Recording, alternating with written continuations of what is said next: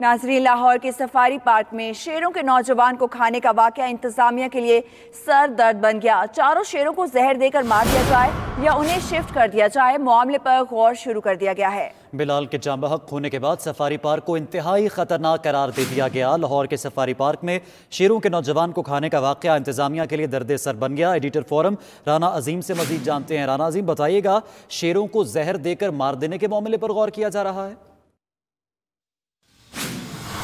ثانیہ safari park میں شیروں کے ہاتھوں لکمہ اجل بننے والے بلال کے حوالے سے، جہاں پر اہم ترین انکشافات سامنے آ رہے ہیں، وہاں پر اس معاملے پر بھی غور کیا جا رہا ہے کہ اگر بلال کو واقع ان شیروں نے کھایا ہے، جس کے خاتے سے اس کی لاش کی کچھ باقیات ملی ہیں۔ تو پھر یہ شیر جو آج سے پہلے، اس واقعے سے پہلے جو آدم خور شیر نہیں تھے، اب وہ آدم خور شیر بن چکے ہیں۔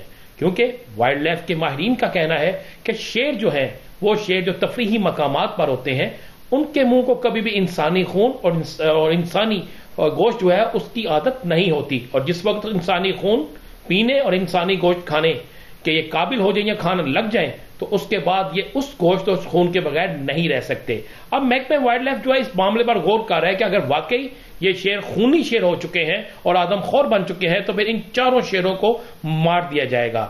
کس طرح مارا جائے گا؟ زہر دیا جائے گا۔ گولی ماری جائے گی یا اس کا کوئی اور سبب کیا یا کوئی اور معاملہ دیکھا جائے گا۔ ذرائع نے اس بات کا بھی انکشاف کیا ہے کہ یہ بھی چیک کیا جا رہا ہے کہ کیا ایک ہی خاتہ تو نہیں، اس کے علاوہ دیگر خاتوں میں کوئی ایسے معاملات تو نہیں، وہاں سے کوئی ایسی چیزیں تو نہیں ملی۔